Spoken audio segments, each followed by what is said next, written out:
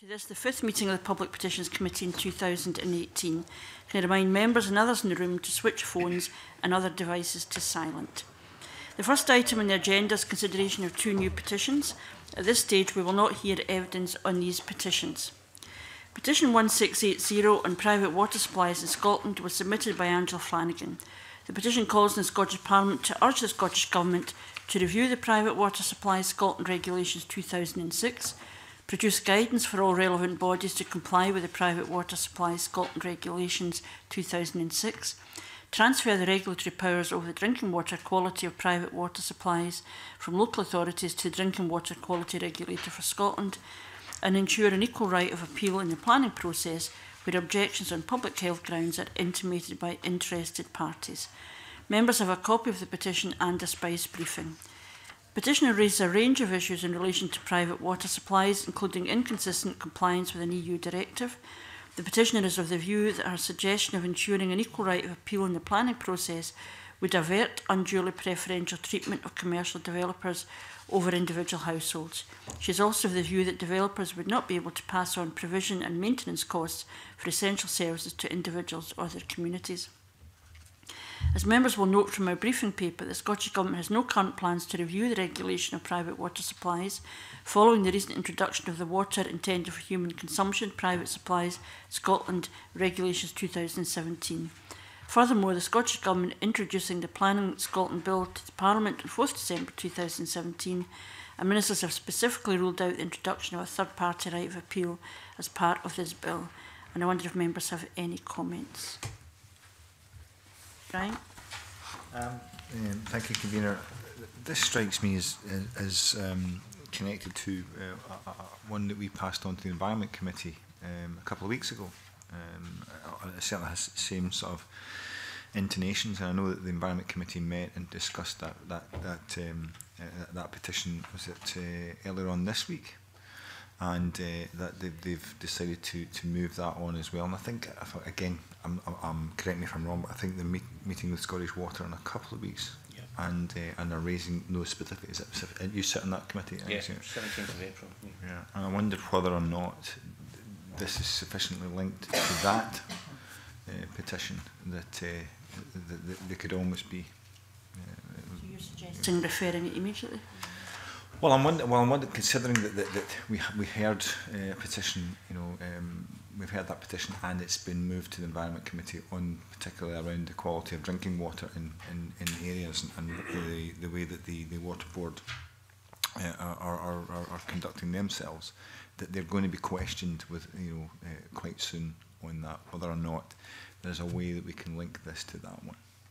Okay, other views, Michelle.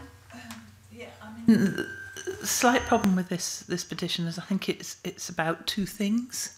So it's about water quality on one level, which is is what the previous petition was was predominantly about, but it's also about um, that responsibility and, and the, some of the planning regulations that sit around that. Um, because obviously private water supplies covers a myriad of things so that you, you've got whole estates that have a, a private water supply Um, and then you've got individual houses and that have private water supplies and, and the needs of each might be different.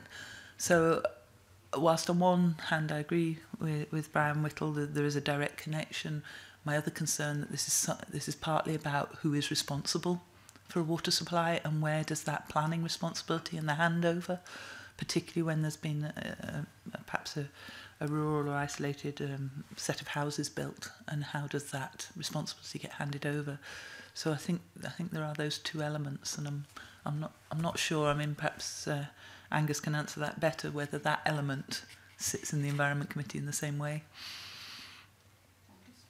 Um, thanks, Camilla. Yeah, I mean, I mean, I take on board what uh, Brian Whittle has said, but uh, the previous petition that he referred to was highlighting an issue with regard to chloramination, um, and this is more well, where there are issues with the quality of private supplies. This also involves the the, the planning regulations, um, and clearly we've got the planning bill going through um, committee at the moment. Uh, I think it's going into stage two. Um, the, the petitioner details four main asks. Um, uh, however, I think until we can get further information from the Scottish Government, uh, I don't think we, the committee, uh, this committee can take this further. Um, Um, as I said, the, the, the current planning bill is going through Parliament, um, but Scottish ministers have specifically ruled out uh, the introduction of a third party right of appeal.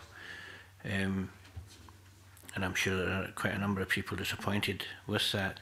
Um, however, I think it'd be helpful to get an official response from the Scottish Government first before we consider any further action okay. uh, on, on the specific points that the petitioner has raised. So I, I don't think it would be helpful to refer it straight to um, the Clare Committee at the moment.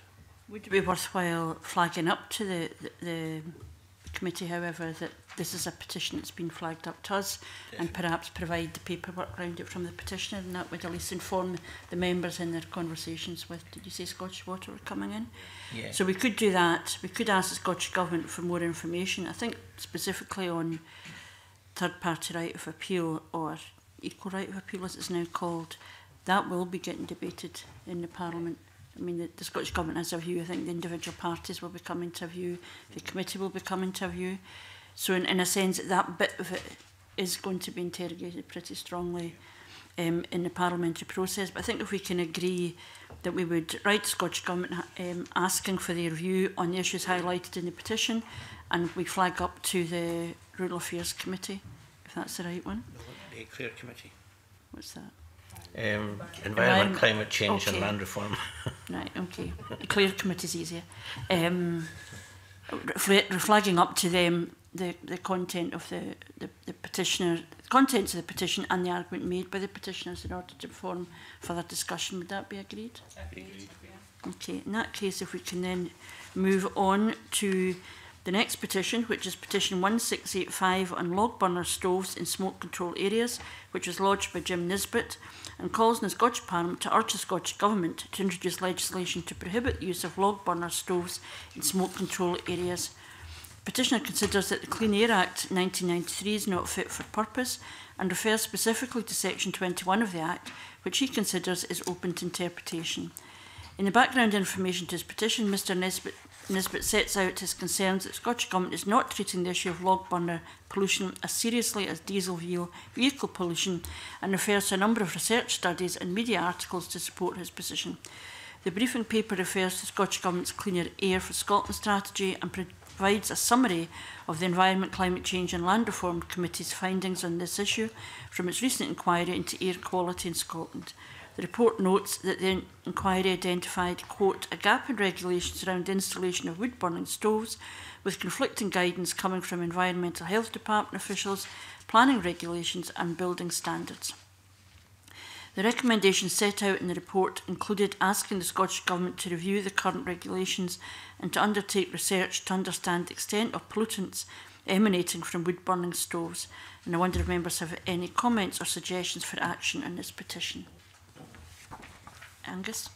Yeah, thanks uh, again, Convener. Uh, as we've just discussed, I'm, um, uh, also a member of the Eclair Committee, um, which recently concluded its inquiry into air quality in Scotland uh, and published its report um, e-, exactly, um, exactly a month ago. Um, and I think it's fair to say um, that we took conflicting evidence on the impact of wood burning stoves and, and the impact that has on, on air pollution. Uh, and the jury's still out on the issue uh, mainly due to lack of uh, available uh, data. Um, but it was interesting to hear the, the Cabinet Secretary, uh, Rosanna Cunningham, acknowledge uh, when giving evidence to the committee that the 1993 uh, Clean Air Act might need to be updated. Um, so uh, the Clare Committee asked the Scottish Government uh, to undertake research and also to review the current regulations and guidance. Uh, however, the committee is still waiting on the the government's response. Um, and we await with interest because clearly uh, there is an issue. Certainly, another evidence that we took that uh, was highlighted that uh, um, there are issues with uh, multi-fuel and, and log burning stoves. Do, we have a time scale for the response from the Scottish Government? They must have to do it within a certain amount of time. Mm -hmm. um, I'm not sure.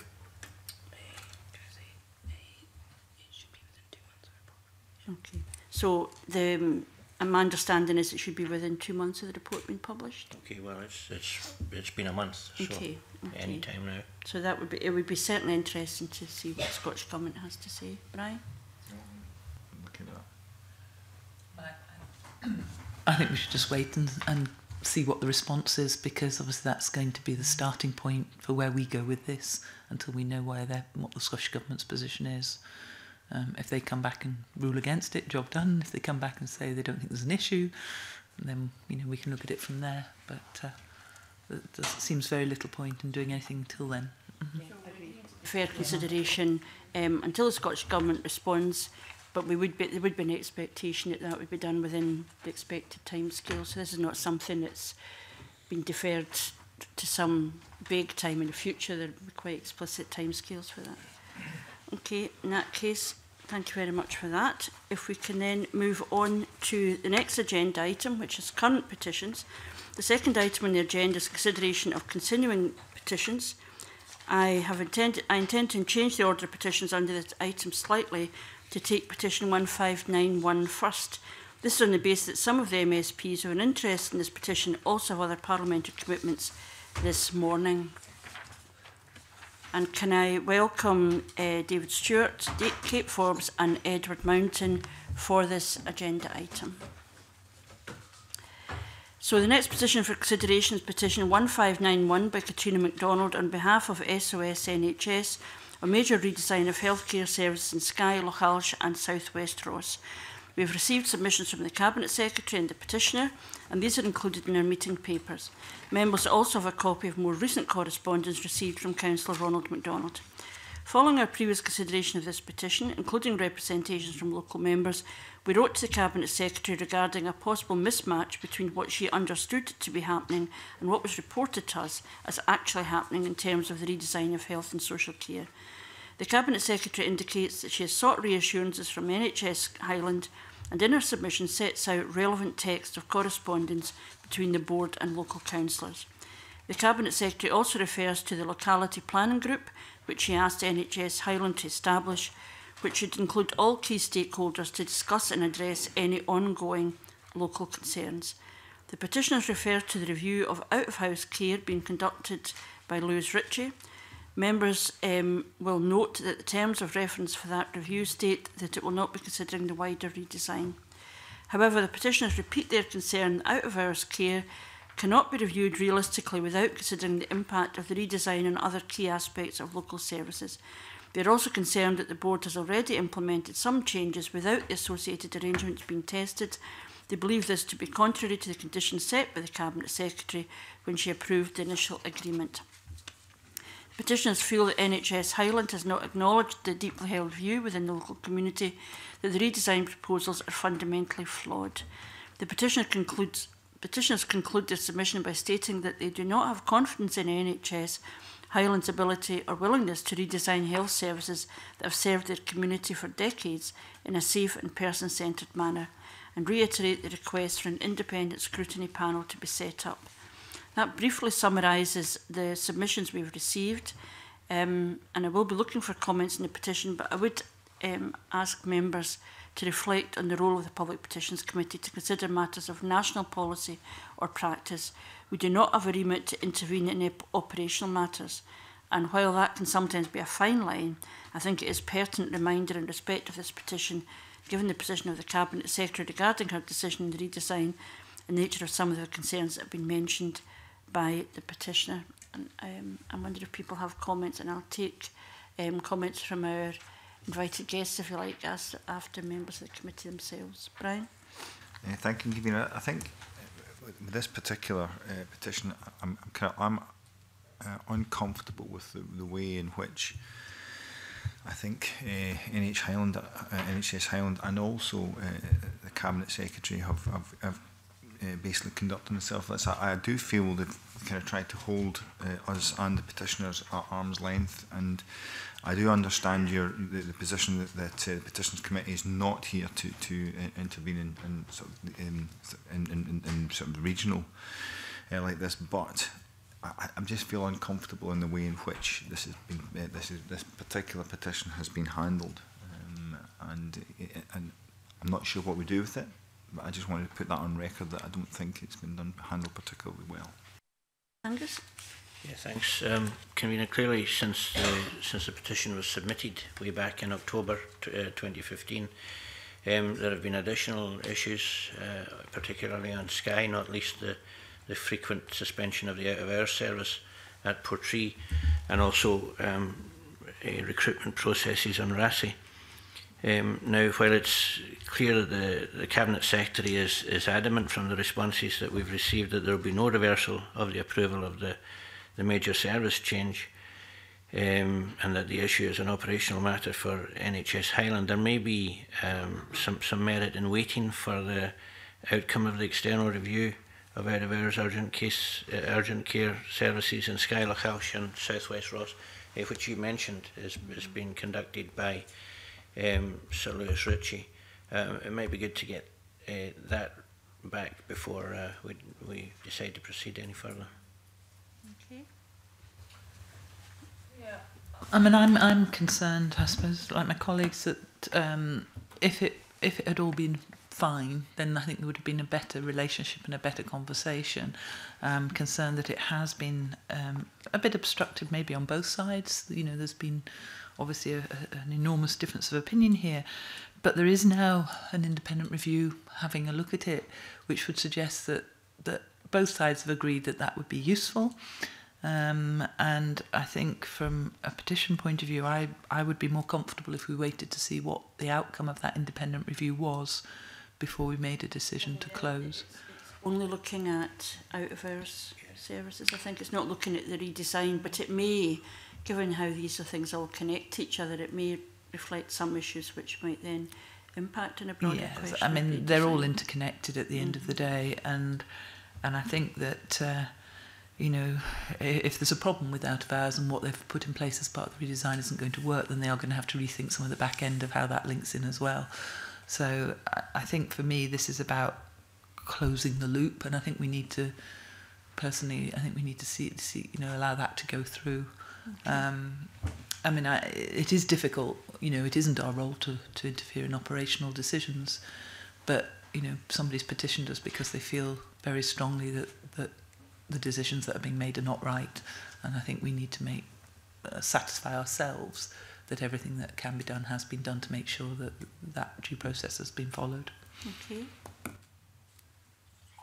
Just, uh, can I just agree with basically what's been said, I think, um, I mean, the, the review that's going on is one part of a huge issue and it's a very important part. So I think, um, although it's not, it doesn't encompass the whole issue, would be wise to wait till we see the outcome of that. Okay. I wonder if,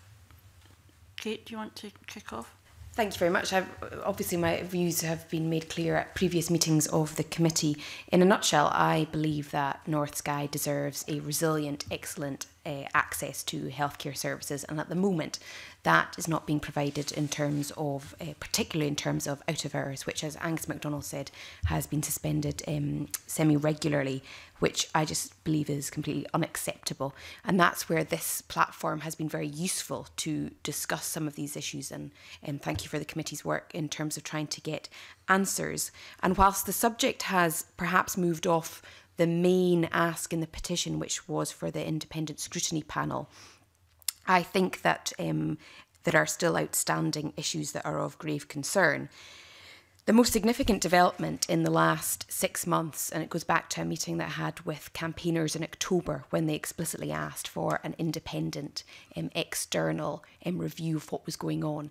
And uh, I know that Professor Sir Lewis Ritchie has been actively engaged with members of the public, with community councils, and with frontline staff, who, and um, it's not complete yet. And whilst obviously the main remit is out of hours you, I don't, I believe too that, I mean, it needs to be a, a wider review than just out of hours. I would hope, though, that you can't look at out of hours independently and in isolation from other issues such as beds.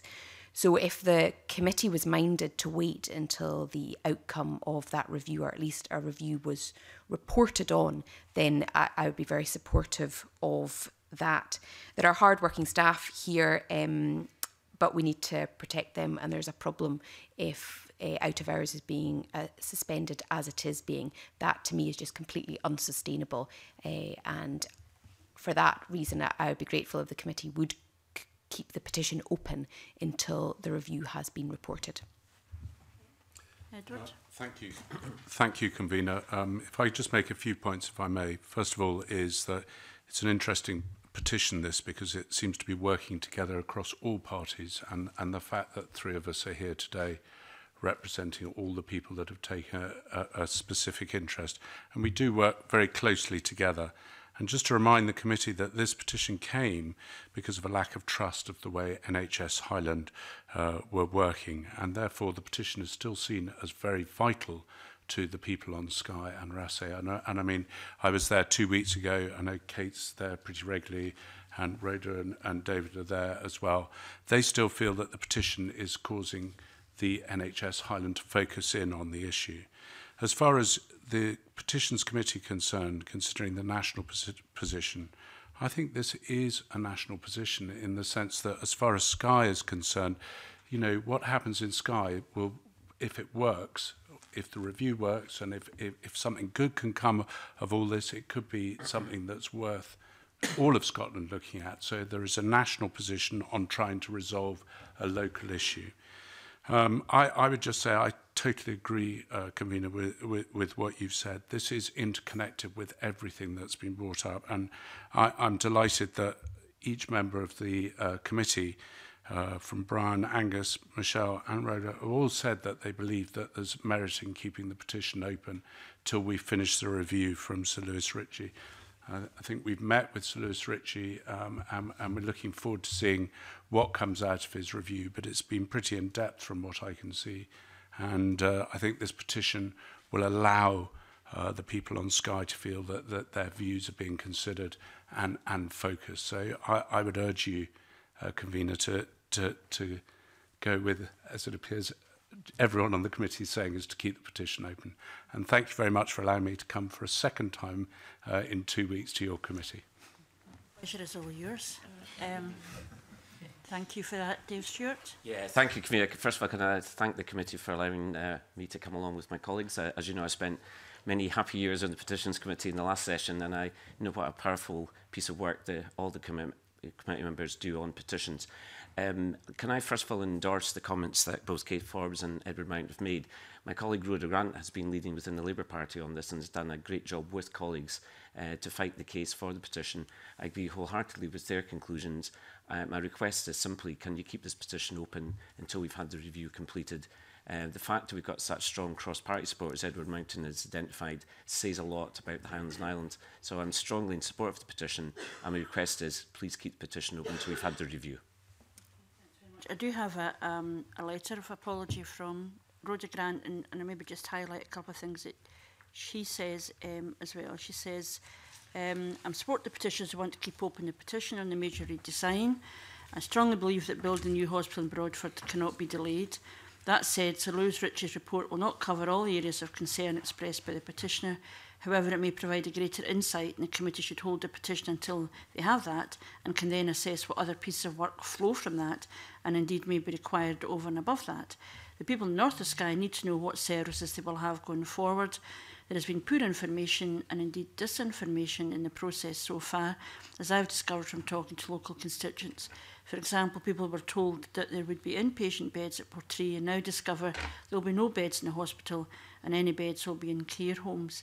There's also need for emergency care and step up and step down beds, and people need to know what services such as clinics and physio will be available.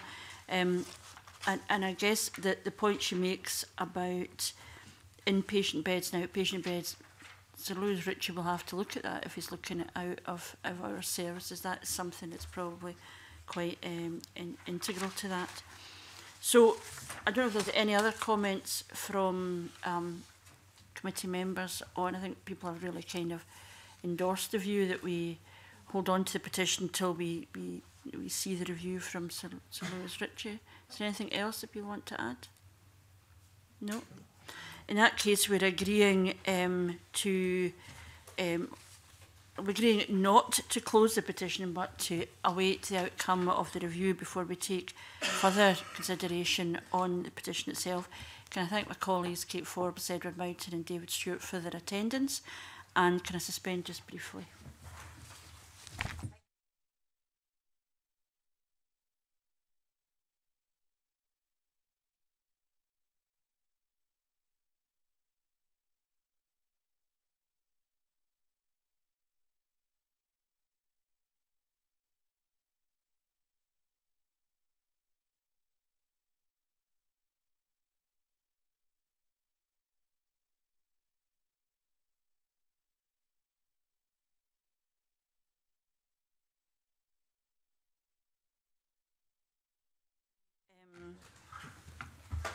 recommence the, uh, the meeting with the next petition for consideration, which is petition 1480 by Amanda Copel on behalf of the Frank Copel Alzheimer's Awareness Campaign and petition 1533 by Jeff Adamson on behalf of Scotland Against the Care Tax.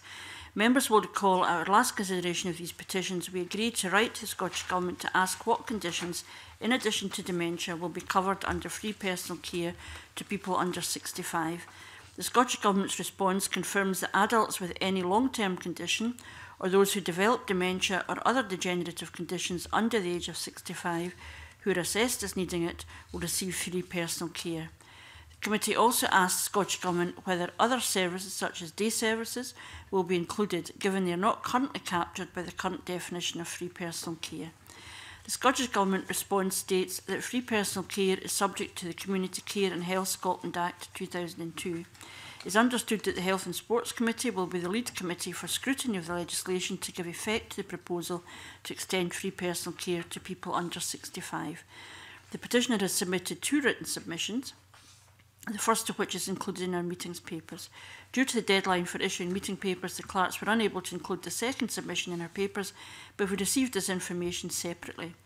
I also understand that the submission has now been published on the petition webpage. The petitioner expresses concern about the way the extension of free personal care will be funded by the Scottish Government.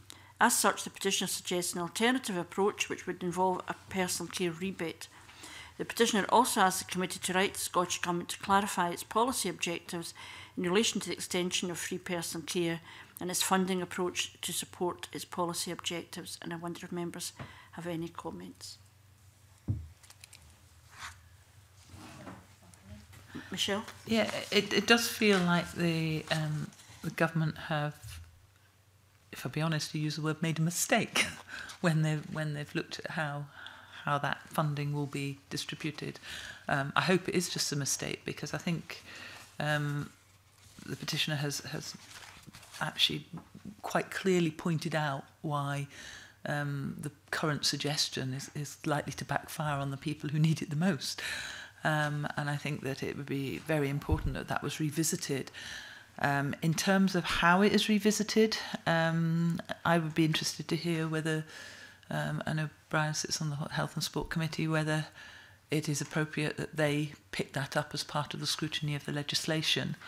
Um, but I, de I definitely think it needs looking at, and I think the petitioner's proposal does make a lot of sense. Um, but I'm not sure it's for us as a committee to decide whether that's the best approach. But I do think it needs revisiting. Okay. Well, uh, yeah, I think I think th this has been raised at um, the Health and Sport Committee as well, and, and um, my colleague Miles Briggs also sits in the Health and Sport Committee. I know he was quite instrumental in, in, in, in pushing forward uh, th this legislation. I think I think quite frankly, there's um, consensus across all parties. Obviously, that the government have brought in this legislation. I think it's the implementation of it that uh, we're currently scrutinising and. and uh, I'd be quite comfortable for the Health and Sport Committee to pick this up if that's what the, the rest of the Petitions Committee decide.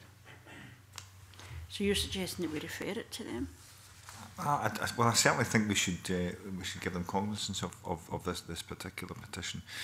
Maybe not pass it pass it on, but I would like to see us write to the Health and Sport Committee and give them details of of uh, this particular petition, and and uh, it would allow it would allow us more information uh, going forward especially the, the unintended consequences of the funding model, which seems to be, um, it, I can't believe that it, eh, nobody would intend it, that the local authorities get the extra money, but there's actually not one coin extra in the, in the pockets of people who have been campaigning for this to change. That doesn't make any sense to me.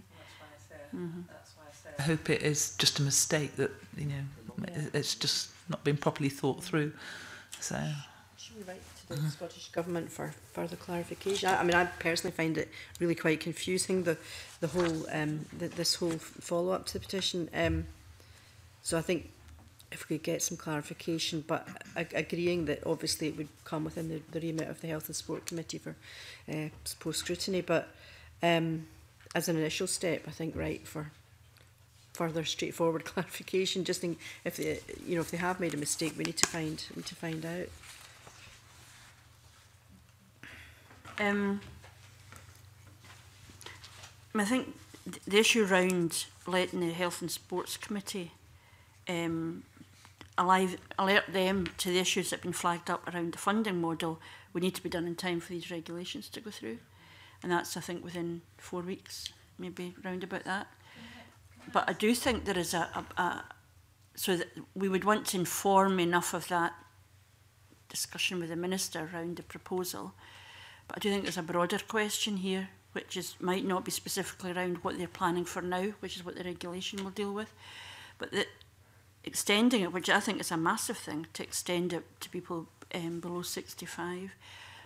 But the nature of the conditions of people under 65 um, who might require free personal care, the, the kind of care they require. I mean, we asked the question, didn't we? Did it include day services and so on? I think there were, we may not be capturing what the scale of the problem is. I mean, I think I maybe flagged up before a particular instance. It was brought to my attention of a young disabled woman, amazingly talented young woman, who said that her student loan was calculated as income in terms of her care package, which is I found astonishing. Now that's not going to be sorted in the next four weeks in relation to the regulations that they, they're bringing forward, but I do think that part of the exploring with this issue is actually still very important, which is really to do with the second petition, which is round potentially scrapping the social care tax altogether. And I wouldn't want to lose that broader piece of work.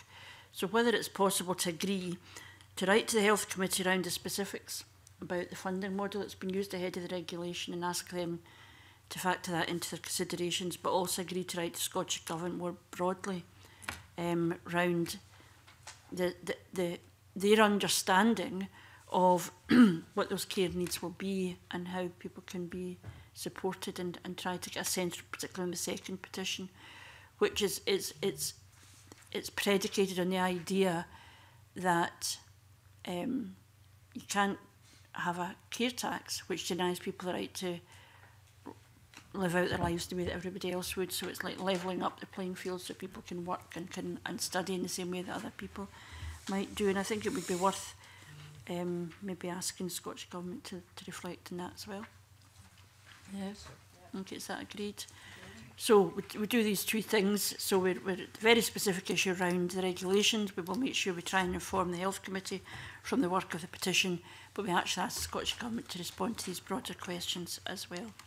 Okay, if that's agreed, we can then, um, excuse me, move on to the next petition, which is the net petition 1577 by Rachel Wallace on adult cerebral palsy services. And can I welcome Murdo Fraser, MSP, for his attendance for this petition. At last consideration of this petition, we noted that the Scottish Government had not contacted the petitioner since the beginning of 2017, despite making a commitment to work with her. The Minister for Public Health and Sport has since apologised for this lack of engagement. The petitioner and Murdo Fraser MSP have now met with Scottish Government officials to discuss the main issues of the petition. The petitioner indicates this was a positive meeting and hopes to build a constructive working relationship with the Scottish Government. The petitioner refers to several projects and evidence gathering exercises that are currently ongoing by the Government which relate to the action called for in the petition, and this information is set out in our meeting papers. The petitioner highlights that this work is still at an early stage and as such asked the committee to monitor the Scottish Government's commitments regarding the petition closely. Um, and I'll, I'll look for comments from members or suggestions for action, but perhaps I can ask Murdo Fraser first, just to give us an update from his perspective on that, the petitioners they're dealing with the Scottish Government. Uh, yes, thank you, uh, Convener. And just just start by, by thanking you and other members of the committee for uh, keeping this petition alive and uh, pressing the government uh, for action. It has been quite a long uh, process, uh, but uh, we seem to be making a bit more progress. I'm pleased to say um, there was, as you um, indicated, a meeting with uh, a government official in January that I attended along with the petitioner, uh, and that actually was a very, uh, very positive meeting. There are a number of strands of work that are being taken forward, uh, which you have you, have referred to and are referred to in the the papers that uh, committee members will have uh, in front of them. And the petitioner is, is, is, is, engaged quite closely with that work and uh, you know, is pleased to have that role. Uh, so things are, are, are progressing, and I think you know, we, we can now see you know, a route towards trying to achieve some of the objectives behind uh, the petition.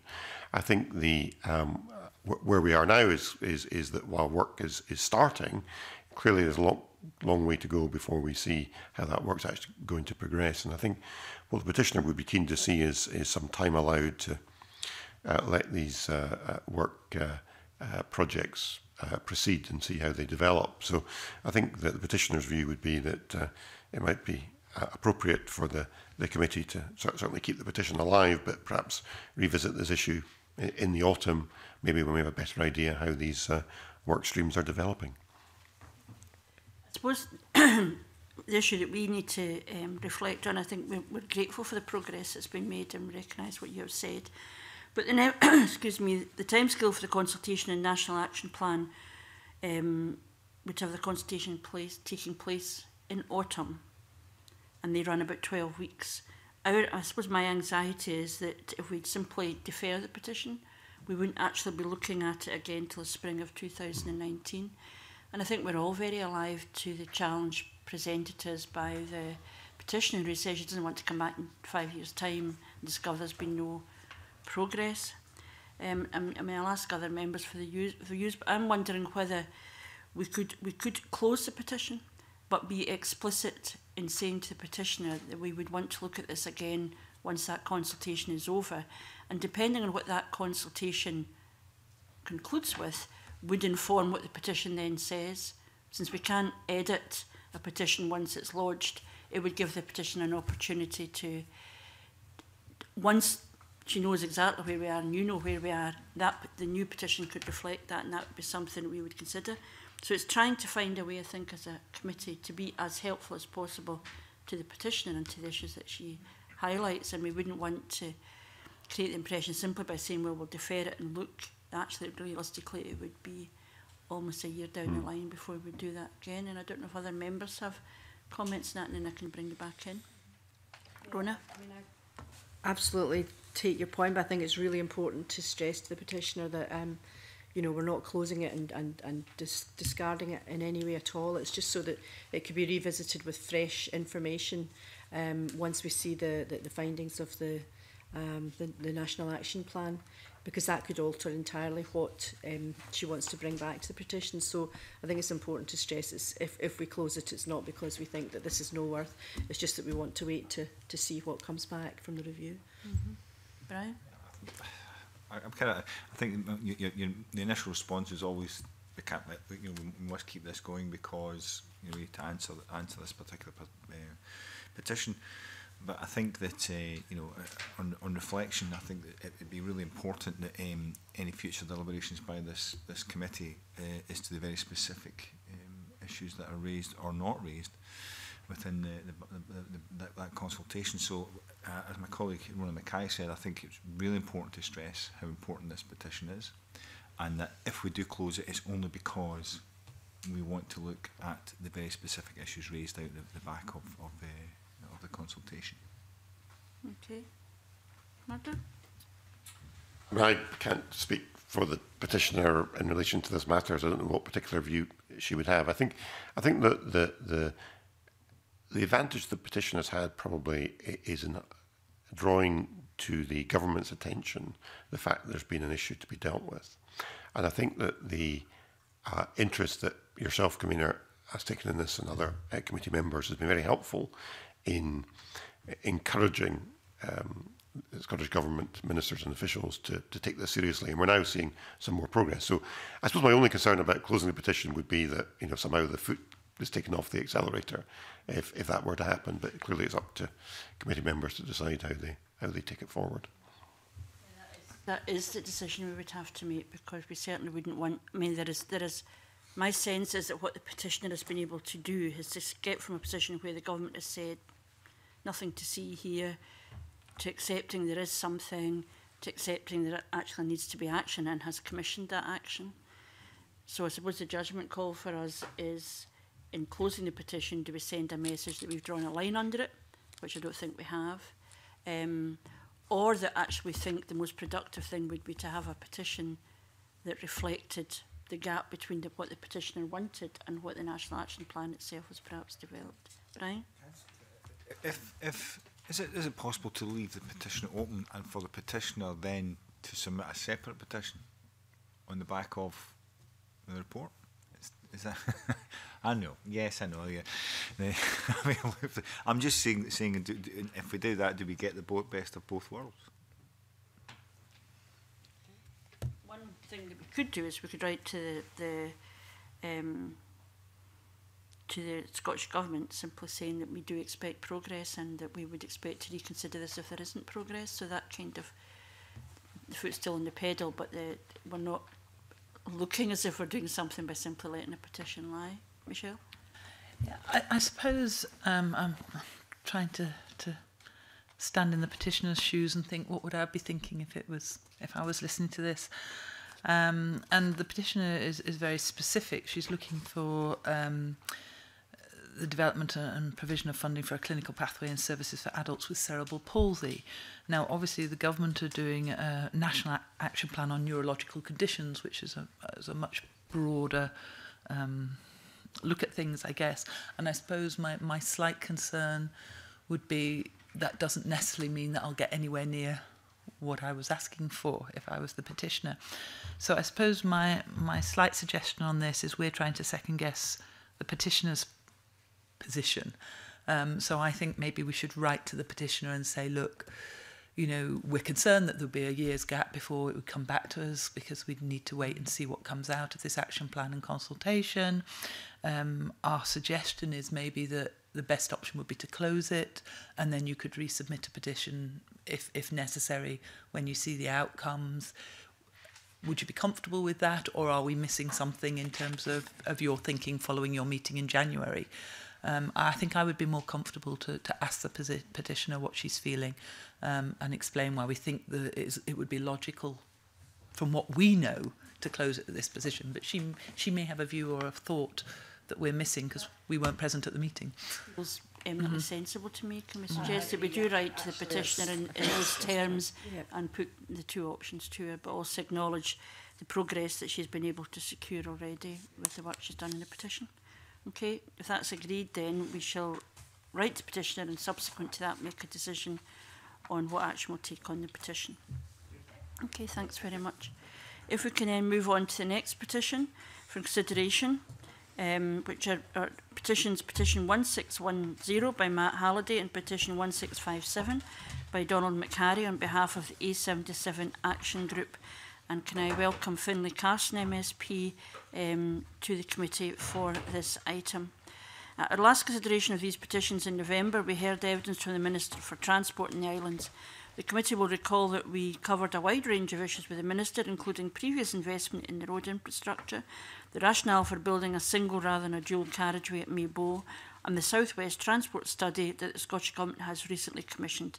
A summary of our discussion is contained in our meeting papers in recognising the particular concerns that have been raised in relation to the condition of the A75 and A77 and the impact this has on the economy of the area, the committee asked the Scottish Government for information to understand the economic profile of Dumfries and Galloway. This information has now been received and is also contained in our meeting papers. Members will recall that the committee asked the Scottish Government whether there was scope to pilot a 50 miles an hour speed limit for HGVs on the A77 similar to the pilot currently underway on the A9.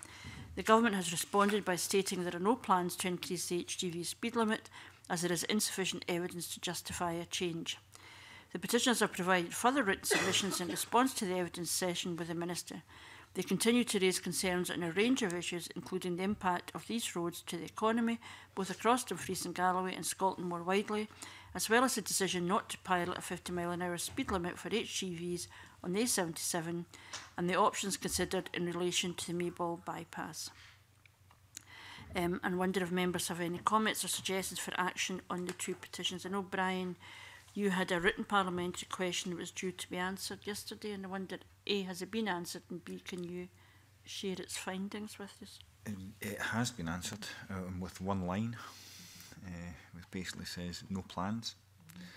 Um, as, as you know, um, um, convener myself and, and uh, uh, my colleague Finlay Carson have been um, quite vociferous in our, our, our sort of the way we've tackled this and gone after this because uh, I've met with uh, Stener recently um, uh, to specifically talk around their plans going forward, the investment they've made um, um, on the back of uh, conversations and, and promises made some time ago. Um, um, they and P&O are, are uh, quite dis- dismayed and disappointed at, at, at, the lack of investment in the area.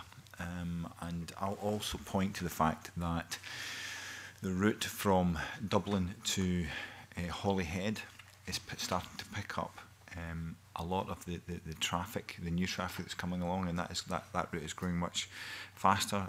And again, Holyhead has, has had a significant investment in the infrastructure around there, and it's an inevitability that, that, that will continue to happen.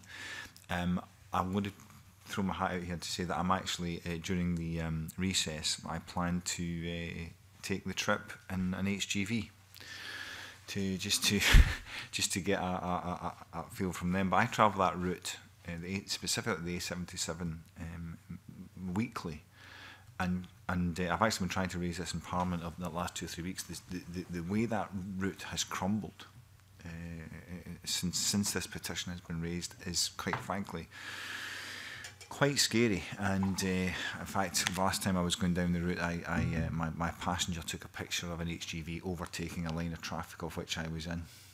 Um, and and this is them on the charge to try and get to, and, and that's no slight against the HGV driver, but it's them on the charge to try and get to, to, to Ryan. And we now have, we had the Ayrshire Transport Summit fairly recently, um, which was, was well attended by uh, uh MSPs and all the, the parties uh, in, included. And, and it just keeps going back to the fact that um, the, the economy of the local area, uh, the safety now of, of that route, uh, uh are suffering so much uh, uh, now and are continuing to suffer. Uh, and my worry is now that, you know, we're here today that, that there's, there's, uh, uh, there's movement on the Esher growth deal, which will only uh, you know, quite rightly, increase volume of traffic. Um, the whole infrastructure of that area uh, is now under review, but by the time that review's come out, which is now uh, the, the winter, next winter, if nothing is done in that road between now and then, it'll be in the sea. I cannot stress enough how poor that the, road, the, the state of that, that road is. And you've got 44 ton lorries in convoy gone up and down that route 26 times a day. Th that, that road, by the time next winter comes along, that road, and I know the 75 is the same, but the 77 is going to be in the sea uh, the, the way it is just now. And I think somehow or other we have got to get some movement on this. Finlay? I, I, I would just agree with everything Brian said. Uh, we've got a fantastic opportunity with the Earth Growth, growth Deal, uh, the Borderlands uh, growth deal and, and also the establishment of the South of Scotland Enterprise Agency. Now, that has got to be underpinned by good uh, road and rail infrastructure. And at the moment, we're, we're looking at uh, the end of this year into the winter before we even get the, the review. I think everybody knows what the review is going to tell us, and, and there has been uh, a severe lack of investment in, in both A77 and A75. It, it can't be overstressed how key to the economic sustainability of Dumfries and Galloway and, and South Ayrshire so that these two roads are. Um, I, I can understand that we, we want to make decisions based on, on the evidence that's uh, put in front of us, but I would call on the, the, the strategic uh, review to be brought forward uh, so it can actually underpin these growth deals that we're, we're seeing being brought to the table right now. Michelle? Yeah, I, I find this slightly frustrating actually. I mean, I think when we did our, our visit down there and had a look at it and we talked to people and we talked to the, the shipping lines and it's quite clear that there is a major issue here. Um, I found when we, we had our conversation with the minister that quite frustrating because he seems quite dismissive, you know, um, and I understand that, you know, there is only so much money and you have to make decisions about where it goes. But it does feel like this is being allowed to disintegrate. And the impact of its disintegration is going to be greater than just whether people can drive from A to B. You know, the, there is a, a, a big amount of economic reliance on this road. Um, and it, it is reaching a stage where, frankly, whether you put a, a single lane bypass at Mabel is going to be neither here nor there because the rest of the road will be virtually unusable if it carries on. So, you know, and, and it is a time thing. You know, as the time goes on, the bill is getting bigger. So, uh, you know, I, I would agree with Finney Carson. We could do with somebody somebody moving this down earlier, and and a proper assessment of, of what needs doing here. Um, I think in the first instance we we probably need to go back to the minister and say, look, here are the points that have been raised. Yeah. Can you address these? because I, I don't think we've had satisfactory answers to the issues that are being raised by the petitioners. A, that's, it mm -hmm. feels to me like that's a starter for 10. We yeah. should be asking, I think, the, the um, on the Mebo bypass specifically, what evidence, mm -hmm. what options were considered, and you know what was the rationale for the, the decision they mm -hmm. finally came to. And also, I was quite struck by the fact that the minister said he would establish whether they would look at a pilot on 50 miles an hour for HGVs, e then came back and said, we're not going to do that. Well, because there wasn't evidence. So what was the consideration that was done mm. that between the minister saying he would look at it or find out and then them just simply come back and say, well, they're not going to do it. Um, I think there's two very specific things, but I think there are a number of other um, issues that are there as well. Brian? I mean, it's not, it's not just about the economy of the area, and uh, uh, the, there's there's a knock-on effect. For example, um, there's there's consideration being given just now between uh, uh treatment of cancer at uh, the Air Hospital and Kilmarnock Hospital, and the consideration is they're going to shut that treatment in the air and move it to Cross House, and the extra travel that that then entails.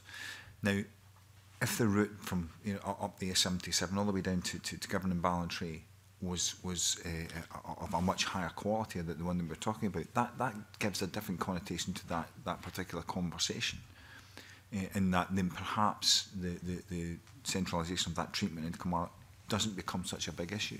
When that when that road closes, which it closes many times, the the the diversion that has to happen for ambulances coming up that road adds you know 40 minutes to an hour to a journey So it's more than just, I think we need to understand it's more than just uh, an issue around uh, commercial uh, decisions, which, which massively important they are. This is, this is actually on, on people's day-to-day -day lives and their ability to, ability to, to move up and down uh, uh, that, that route to the, to the main conurbations in Ayrshire. So I, ju I just want to say, I, I forgot to say that because I said lots. I just want to put that on the table as well. Brona?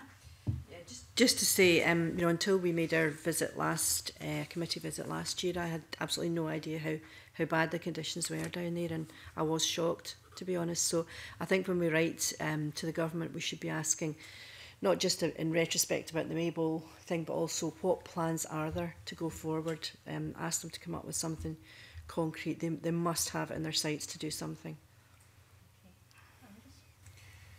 Um, nothing much more to add, convener. Uh, tend to agree with everything that's been said, but um, I wonder if it's worth. I, I know uh, the two local members have met with P&O and uh, Stenaline, but I wonder if it's possible to get an update from them on their stance. Um, I mean, they, they did they did give us evidence at uh, when we were down when we were down uh, in Dumfries and Galloway uh, on the on the committee visit, but um, the committee hasn't heard from them, although local members have. So it'd be good to get their perspective on on. Yeah. I was thinking that possibly we might want to invite representatives of the hauliers um, and the ferry companies. Now the question is whether we do that. Sorry, in a committee session or a round table, which then allows community representatives or whatever also to be around, is a question of the focus of that.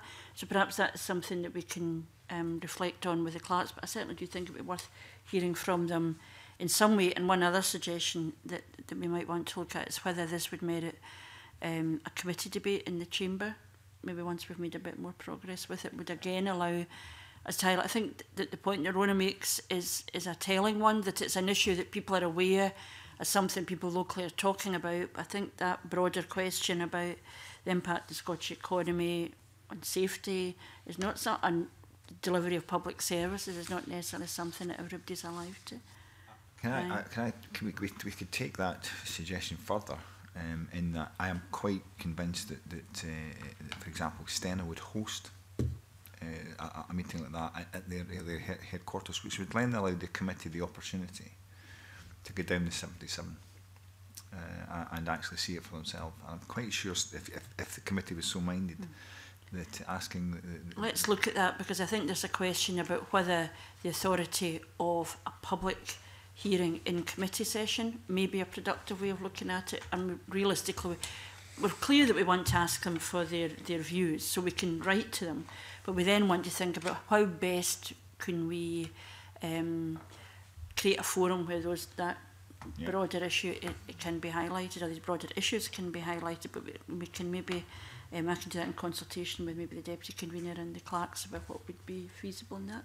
If that was agreed, but as a minimum, we would certainly be writing to the Scottish Government and writing to these, um, both to the hauliers and to the the ferry operators to get their views because I think this issue that's also flagged up in the papers about the way in which um, other lines um, travelling for travelling goods are being developed and therefore the impact in that Scottish economy is also kind of a, a question we want to look at.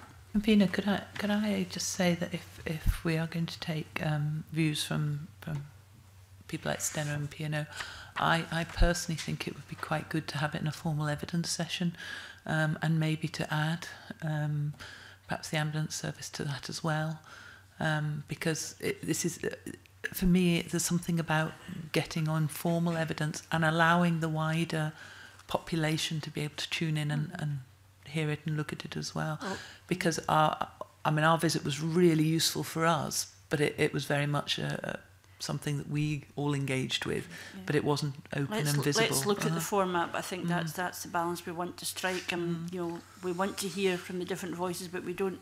We need to also have a focus.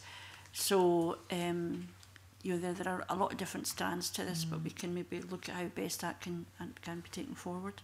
So if that's agreed, I don't know if there's any final comments, Finlay.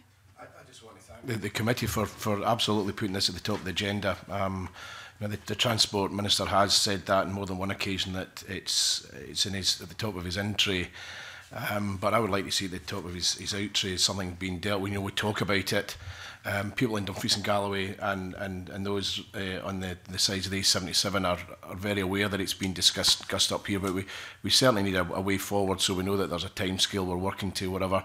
I, I welcome Brian's comments uh, and, and Michelle Ballantyne's on, on on ambulance service or whatever. we've, we've got a, a health board that's looking to provide centres of excellence.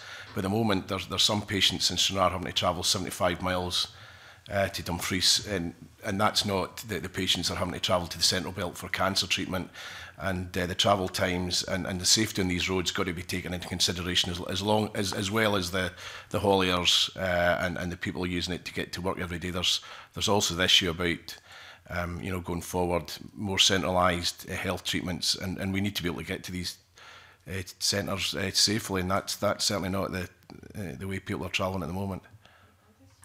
Just a, a, a, a final thought, um, just to ensure that when we write to the Scottish Government, can we ask them how members of the public can contribute to the South West Transport Study?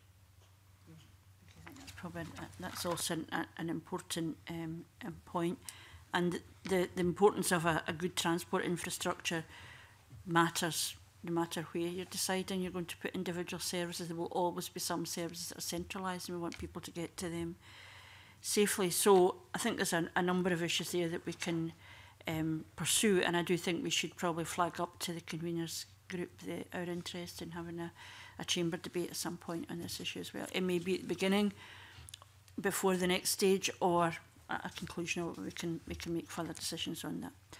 Okay, with that, can I thank Finlay Carson for his attendance? And if we can move on to the final petition for consideration today, which is petition 1627 by Annette McKenzie on consent for mental health treatment for people under 18 years of age. We last considered this petition at our meeting on the 18th of January when we heard evidence from the Minister for Mental Health. The committee considered a range of important issues with the Minister, including the prescription of antidepressants to under 18s, GP training, early intervention and prevention measures, including CAMS service provision and issues related to consent. A summary of the discussion that took place is contained within our meetings papers.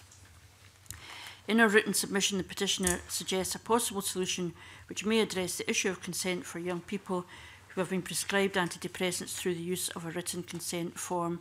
And I think there was also a submission circulated late, but which is now on the petition's um, web page, and we also have access to it here. And I wonder if members have any comments or suggestions for action. Michelle? I'm, I'm really troubled, I have to say, by this petition. Um, and I'm really keen that we are progressing or endeavouring to progress down a route which makes real change because I think there is an underpinning problem here in the way that um, when young people are going and seeking help, um, usually uh, often as a first port of call with a GP, that actually what what they're receiving is not a, appropriate. And and I say that in a way that I'm not suggesting that GPs are deliberately or in other ways, you know, not endeavouring to do their best. But I think the circumstances, which are driven by 10 minute appointments, by very busy clinics. Um, and I think, in terms of the underpinning training and ongoing CPD that doctors are receiving, um, mean that actually what we've got is fundamentally an inadequate approach to dealing with young people who are coming in with anxiety, depression, um, or, or feelings of inadequacy. Um, I think that it's clear from the evidence in front of us in our papers that GPs are struggling to get the kind of CPD they need. Um, so whether it's updating on safeguarding, updating on mental health, updating on, on appropriate use of drugs, and combined with the other petition that's sitting with us on the impact of antidepressants, I think it paints a very troubling picture. So I I would like us to go back to the, the minister um, and ask clearly about um, what she feels about the need for some engagement around written consent. Um, but I also think um, I would be keen to speak again to to the DMC and say, okay, you know, we've seen what you've got to say about the process of training and the the elements that have to be undertaken, but we do think there's an issue here, um, and we would like your thoughts on on what can be done to improve the engagement with young people, particularly around GPs. And I, I think the whole business of prescribing for young people when they come in, I think there needs to be a, a, a broader conversation about whether or not there should be some sort of stop on giving prescriptions to young people on a first visit to a GP. Um, in the sign guidelines clearly say that they shouldn't be prescribed um, until other therapies have been um, tried out. But clearly that isn't happening. We, you know, we have a number of pieces of evidence in front of us that indicate quite clearly that it is not uncommon practice for young people to be given a prescription on first visit. Um, and I think that alone sends shivers down my spine. And certainly, as somebody who's worked in children's services providing alternative therapies, I would I would be very concerned about any child being given a prescription on first visit and extremely concerned about them being given it without any other person being aware of it and being able to give support to that young person. And I think that is our current circumstance in the system that we have. Um, it is not about blaming any individuals, it's not about holding doctors to task, but it is about looking at a system that I think has a problem in it and addressing that problem, not not looking just in terms of exonerating individuals, but actually saying, look, we've got a system, systemic problem here that we need to address. Um, the petition is before us, and I think as a committee, um, it's something we need to drive forward, um, and I think we need to discuss how we do that and whether we can do it in this short session. I suspect is not the case, and I wonder whether we should take it out of here and have a, a, a broader session on looking at what's going on and what might be the best way to approach dealing with this. Um, I think you know of, of, all the petitions that we've heard in here, I think this this this one is, is the one that's probably impacted me personally the most. Uh, I think it's one of the most important petitions that we've had here because I think, as, as um, colleague Michelle Ballantyne has highlighted here, it, it's raising a much bigger issue here. It's raising, for me, you know, a, a, one of, for want of a better expression, the protection of our GPs. I think that uh, the CPD has not uh, kept pace with with the, the rise in, in mental health conditions. I think it's all well as saying they're not following the sign uh, the sign guidelines, and but that would then uh, that, that would then predicate that other therapies uh, and options are available to the GPs at the time. And I think um, the, the the idea that that um, young young youngsters can be given um, medication on a first visit to a GP just just frightens me. Uh, I, I, can't tell you, and so I, I have to say I, I I think we need to have a particular longer session to look at this petition somehow or other. We need to be able to consider this in a much uh, an environment that's not uh, so constrictive as we have in here just now. And I would be I, I would back a call to to uh, to take a specific session on this if we could. Can I suggest that if we do that, what we're doing is implementing the public decisions we've made, and we would report back on those. So it just gives a wee bit of space to kind of reflect on all of the evidence. It's not that we wanted to take it out of the public domain and not return it, but it would certainly give us a chance to kind of maybe think through some some of of these issues. I think for me, um, from the minister's evidence I don't think we've got a satisfactory answer on to what extent um, prescribing um, antidepressant drugs or other drugs are the first port of call, the last port of call, when we know that the evidence, the guidance says it shouldn't be the first thing that's done.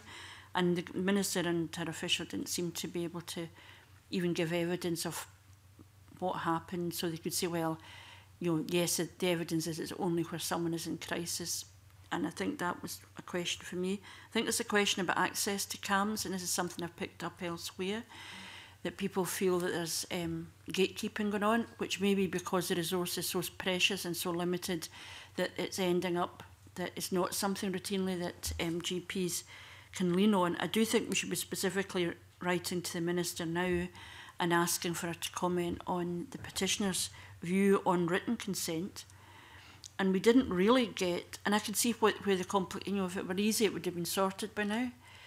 But the question, the difference between going and telling somebody about somebody else's um, right to confidential advice and understanding that in circumstances like these, somebody would need a bit of, of support. The minister herself accepted that if it were cancer, then of course the family is brought in and how can we support the person with cancer? But the presumption is that for somebody who's got a mental health issue that, that that support wouldn't be as supportive that support wouldn't be as positive a thing and I think that is an interesting indication of the way in which we deal with mental health issues separately and, and I also noted that from the evidence or the submission from the Royal College of General Practitioners they talk about communication and consultation and say um, that you know to enable parents or carers, children and young people to participate in their own care, be routinely involved, but it actually flags up the need for confidentiality balanced with the parents' need for information and whether that is specifically for under 16s, I don't know. But that, I think that's just, I, I don't think this is just something that's absolutely black and white. Um, but there are there are issues here, and you know how do you how can you be as supportive as possible of somebody who may need particular treatments, but to look to reach out to people who would be supportive of them and, and allow them to be. Because I think again that is the petitioners has underlined this that even if she felt that it wasn't appropriate for the drugs to be prescribed, if she had known, it would have explained the behavior changes and she might have been able to help with even dispensing the drugs. So I think there's there, there are questions there. So um, I think we do want to go back to the Minister with these points and if there are other points we want to flag up that should be included in the letter, I'll take them in a moment. Um, I do think we want an opportunity to reflect a bit on how all the different ways in which we can pursue this. We do want to flag up to the Minister the question of um, written consent as highlighted by the petitioner. Are there any other issues that people would want to add to that? Rona? Yeah, I mean, it's, it's, it's just, as, as has been said, my colleagues have said, it's just hugely troubling and and massively important, um, this petition. And it encompasses so many different things um, that, you know, I think we, we have to just, you know, get, get as much um, information as we can. Um, so far, you know, the responses that we've had haven't added much, you know, to, to I'm sure the petitioner won't feel that it's added much to, to um, her reasons for bringing the petition, so we need to get closer to that. Um, certainly write to write to the government ask about the consent forms would, would be you know one aspect but it definitely needs longer i think this this is an issue that we can't do in in 15 minutes um you know every, every fortnight i think we have to it does need a longer session it's a much wider issue um so yes i think what's been suggested is what we should do for now but i think we need to look at it longer term as well Yeah, you, mentioned the issue of, of funding for CAMS uh, a wee while ago, convener. Um, I think the minister referred to extra funding that had come in. I think it was about 10 million. Um, but clearly there are capacity issues. There's no no doubt about that. So, um, uh, could we possibly write to Young Scott for an update on the, the work of the Youth Commission to explore the extension of CAMS to uh, the age of 25.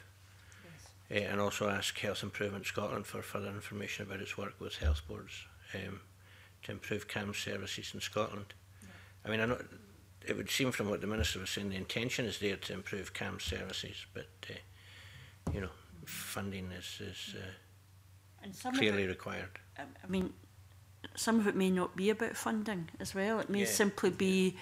the kind of do we wait till somebody's crisis before we access support for them, or does CAMS have a role in preventative work? I, mean, I don't, I don't know the answer to that, and I think certainly from evidence I've heard elsewhere, people who you would have felt would have been seen as somebody who would access CAMS haven't been. So I think it's just quite interesting to explore that. And I think your suggestions around Young Scot and Health Improvement Scotland um, would would help that.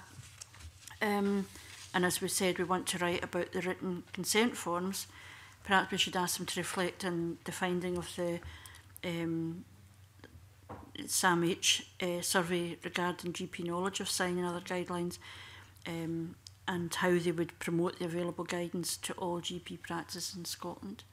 Um, I think we're agreeing that, that we, we will reflect on this in private but we will uh, report back an evidence taking session, of, a, a public session of committee to reflect on what the conclusions of that would be at a future meeting, if that's agreed.